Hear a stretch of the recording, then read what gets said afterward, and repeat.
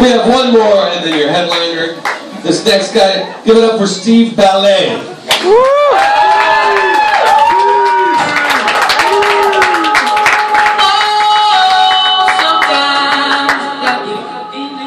Sometimes I do get a good feeling.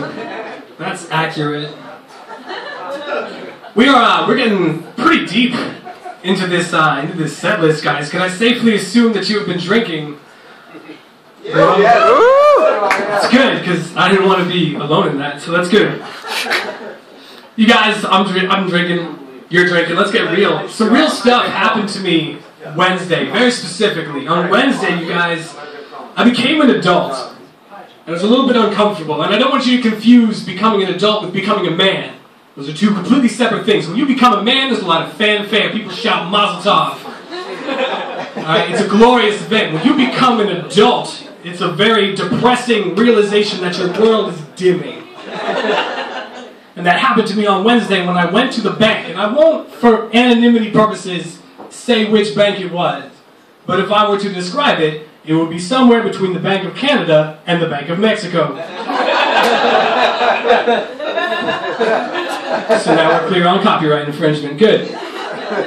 So I went into this anonymous bank because I felt the, the, the need to be responsible and decide if I should start a 401k or an IRA.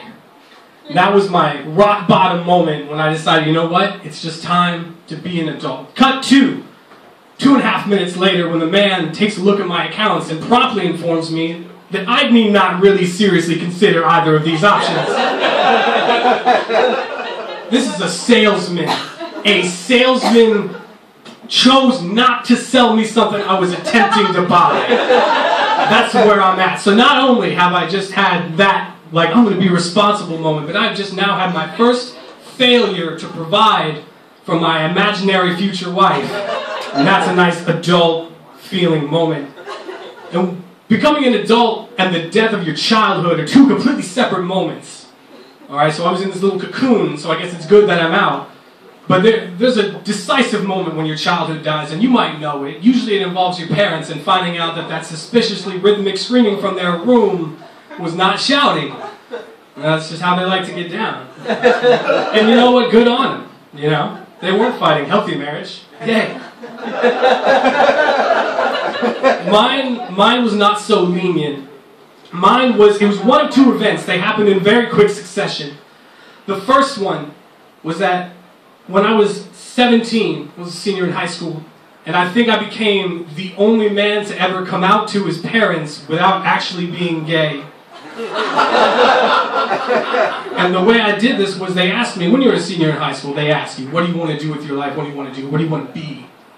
Uh, so they said, Steve, you know, what do you want? What do you want to do with your life? I said, well, mom, dad, I, I really like performing. I want to be a performer. I want to be an actor. And they were like, sweetie, we don't care who you love. I was like, oh, no, no. I mean, not that that's a problem, but that's just not. They're like, we don't care. We love you anyway. Somehow we always knew. so my childhood died because apparently for the first 17 years of my life, my parents thought I was gay. Not that that's a problem, it's just a tough realization for me. but, there was that. There was also the moment that me and my dad had this song. It was a classic rock song that we used to just jam out to in the car from ever since I was a little boy. When I was like eight years old, so I belting out this song.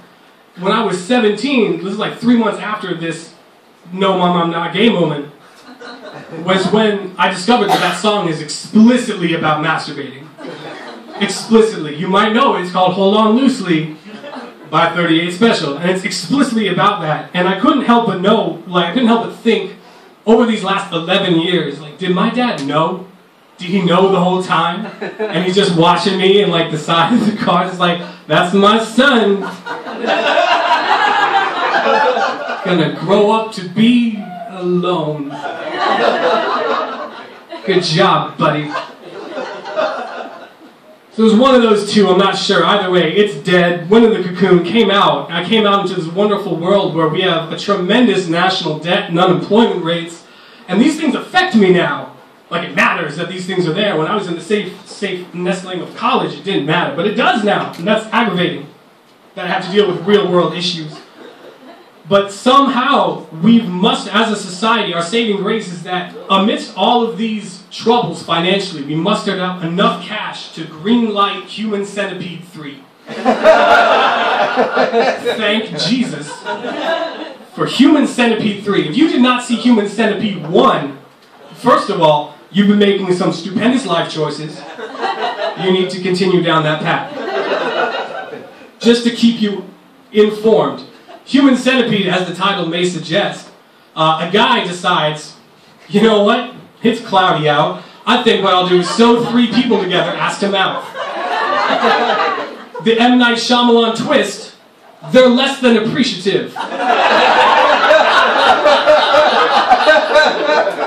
and then once that bubble bursts, it's essentially 90 minutes of just going, yeah, that would suck. That would suck. Human Centipede 2 is just simply the same thing, but we're 12 people instead of 3. They kicked it up a notch. Good on him.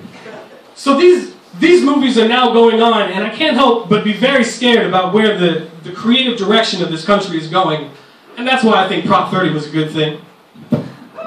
Woo! So that's my one little political thing. But I think what we should do is they don't have a plot for Human Centipede 3. They don't have an exec producer, so I'm going to get on this. Alright? And what I'm going to do is sew 30 Bank of America employees together, ass to mouth, and just watch them squirm for 90 minutes.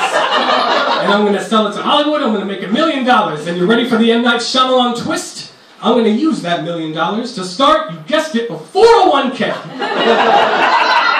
you guys, I'm Steve Balliet. That's my time. Thank you very much.